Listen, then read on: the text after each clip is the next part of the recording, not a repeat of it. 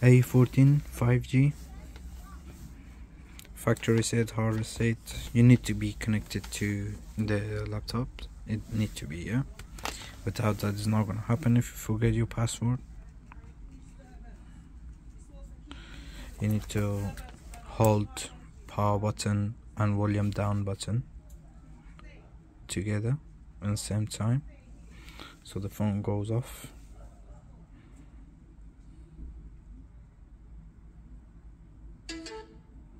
yep the phone goes off. Power button and volume top now together. Holding for a few seconds. To something repair.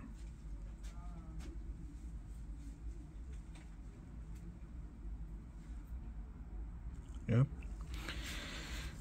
You go with volume down to wipe data factory reset power button confirm again down volume again with the power button confirm wait to finish after finish wipe off reboot your system again with the power button and his job is done. So it's come back as normal